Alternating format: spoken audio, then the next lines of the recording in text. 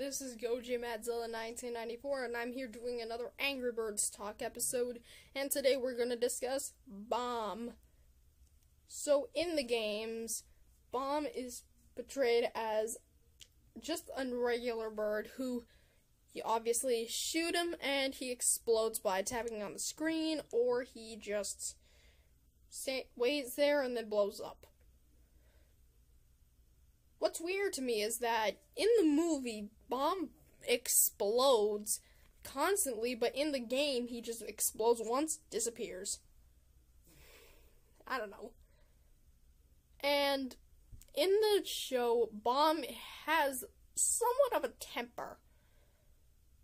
When he gets mad, he turns red, then obviously explodes. That's why his name is Bomb. But I wonder, if he blows up, what causes him to blow up? Can someone help me answer that question? I, I'm a, kind of a nerd about Angry Birds myself, but I wonder, what makes Bomb explode? Pretty sure Rovio confirmed what makes him explode. I'm not sure, actually. But long story short, I think there's something inside Bomb that makes him explode. And obviously in the movie you're staring at his design. He's he looks very cool.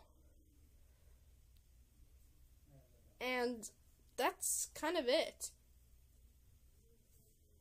Thank you guys for watching this uh, episode of Angry Birds Talk. And I'll see you guys in the next video.